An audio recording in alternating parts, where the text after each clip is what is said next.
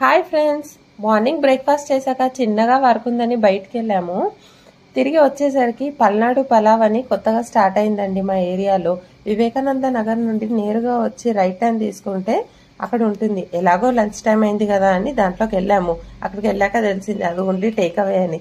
సర్లే ఆర్డర్ ఇచ్చేద్దామని చెప్పి ఆర్డర్ ఇచ్చాము. అంతలో ఇక్కడ ఏమేమి ఉన్నాయని చెప్పి అన్ని చూస్తూ ఉంటే కుండ జున్ను ఉందండి.